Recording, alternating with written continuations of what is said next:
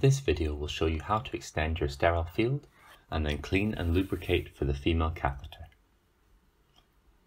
To start with, you will need to wear sterile gloves. For this, you open the package and then wash your hands using the seven steps of hand hygiene.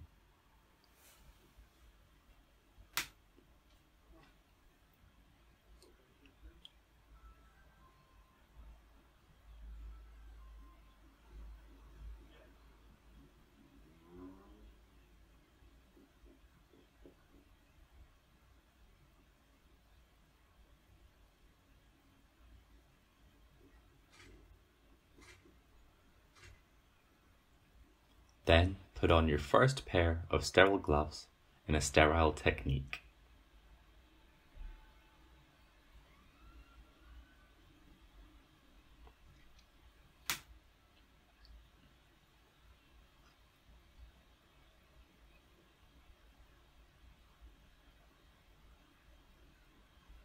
Go over to your sterile field, pick up the non-textured sheet which you will use to extend the sterile field to the other side of the trolley, overlapping the sheets slightly.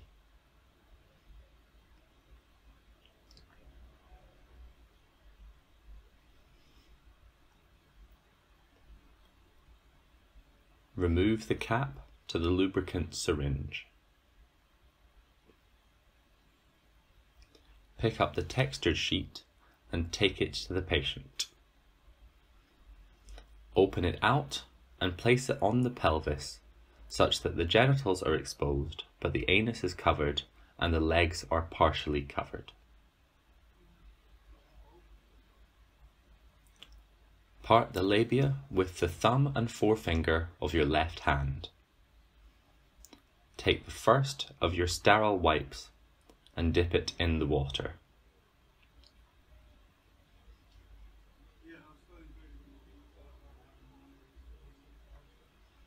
The first clean should go from front to back down the patient's right hand side of the labia.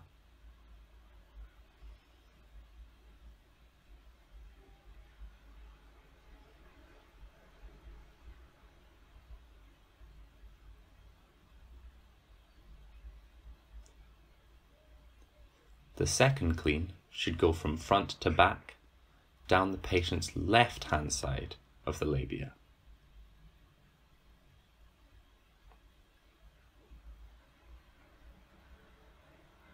The third clean should go from front to back down the center.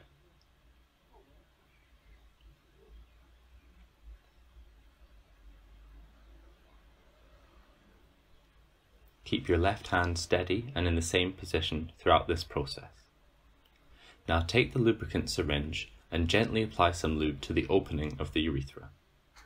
Then insert the tip of the syringe into the urethra and administer the remaining lube.